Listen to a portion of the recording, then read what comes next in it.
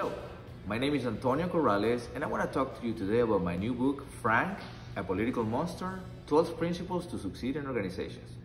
Frank, A Political Monster, 12 Principles to Succeed in Organizations portrays the remarkable story of a man born and raised in a poor neighborhood in Caracas, Venezuela, in a household full of love, dysfunctionality, intellectuality, hunger, violence, alcohol, European customs, laughter, tears, death, and more death.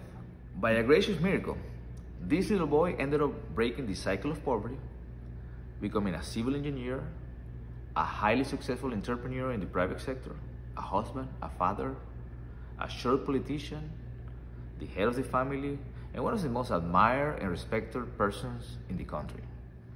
Sadly, the demons from his past never left him completely, and they ended up destroying most of his life's accomplishments.